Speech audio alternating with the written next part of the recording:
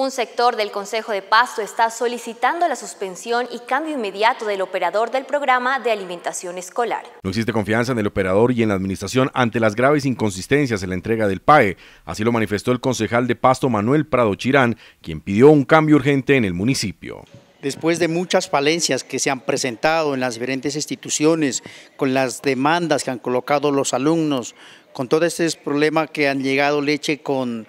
eh, larvas, difícilmente los padres de familia podamos confiar que siga operando esta institución, que realmente lo que ha hecho es colocar el temor, crear enfermedades. Hasta que el momento, hasta el momento Secretaría de Salud no ha dado el informe de que haya personas enfermas por este lado, porque estuvimos con la Educación en ese, eh, trabajando. Sin embargo, para nosotros los padres de familia realmente nos queda esa incertidumbre, nos queda la duda y para nosotros es mejor que la Secretaría de Educación, hombre, haga valer las pólizas que realmente se, se firman y que se cambie de operador, se haga otra nueva licitación para que hoy en día los padres de familia, si las cosas mejoren, ya nos queda la duda de que este operador va a eh, enviar los alimentos en en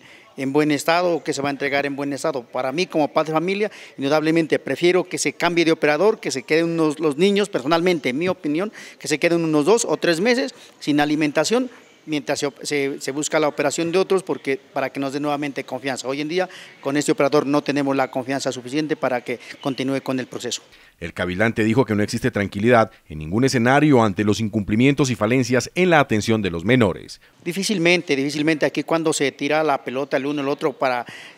entre comillas, para favorecer intereses políticos, porque realmente, porque la corrupción parte desde ahí, indudablemente la asociación no, no es tan alentadora, cuando la base fundamental es la administración municipal, en base de, en, base de la Secretaría de Educación, ellos son los que tienen que hacer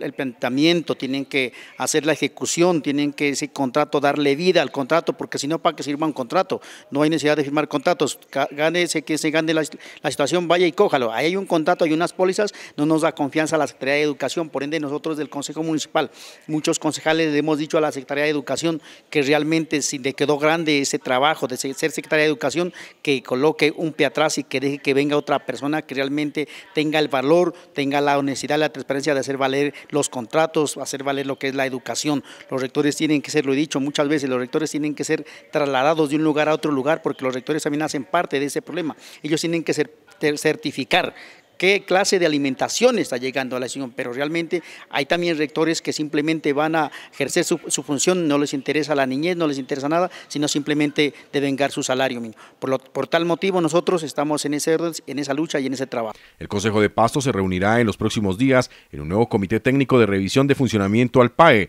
en todas las instituciones del municipio de Pasto.